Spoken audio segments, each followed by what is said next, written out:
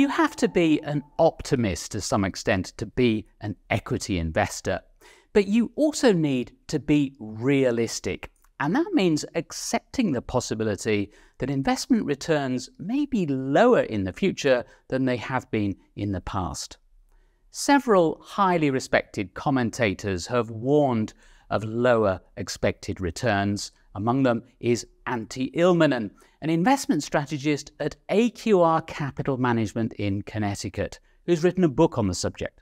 If I have to pick sort of fundamental story why we are in this world, it, it, it is around this idea of savings glut, which has been like 20 years, uh, like it could be savings glut from emerging markets, it could be from the uh, pension savers, it can be from the wealthy um, who have got all higher savings rates, and and that that is probably something that's not immediately going away.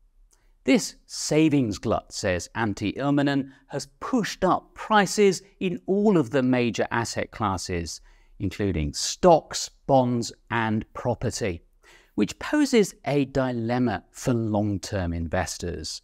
Do they reduce the risk they're taking, or do they take more risk to offset the possibility of lower returns in the future?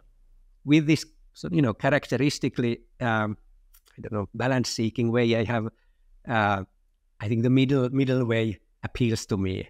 So I think that you, you should consider both more risk and less risk, and and and if you feel strongly, go with either way. I would probably stick with the long run normal amount of risk and try to accept serenely that in today's world that implies lower returns and lower spending than in the in the past when we had the tailwinds. One option that's been gaining traction is investing in private equity rather than publicly listed stocks. Private equity did outperform public markets when it first became popular in the mid 2000s but it hasn't done so more recently. If I study historical data, and I show this in the book, uh, the valuation gap between public and private equity narrowed quite meaningfully just around that time. And since then, we have had very narrow gap between uh, private and public equity and slimmer outperformance than was the case earlier. Antti Ilmanen's advice for ordinary investors is essentially twofold. First, diversify broadly. And secondly, remain patient and disciplined. Good investing results require both good investments and good investors.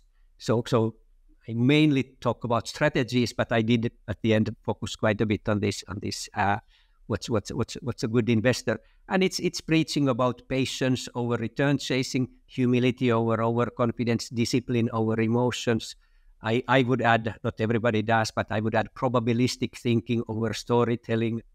Of course, we don't know for certain that investment returns will be lower in future. They may not be, but investors need to be prepared. And for many of us, that might mean putting more money away for our retirement than we have been until now.